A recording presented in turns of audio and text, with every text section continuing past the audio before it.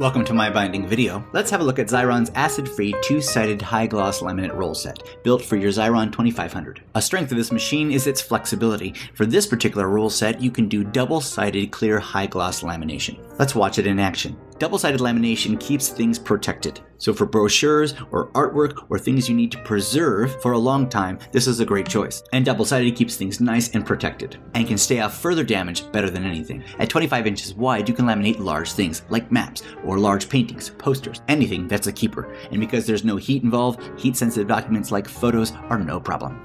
And that's the double-sided lamination rolls by Xyron. For more demos, reviews, and how-tos, check out mybinding.com.